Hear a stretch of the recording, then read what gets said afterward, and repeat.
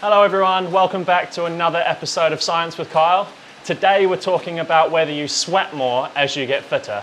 So let's dive in.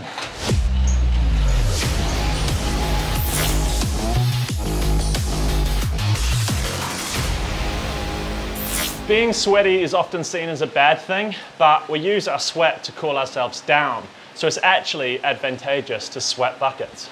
In fact, you sweat more the fitter you get. That's why I'm so sweaty. And that might seem counterintuitive, but it's to do with keeping your core body temperature under control.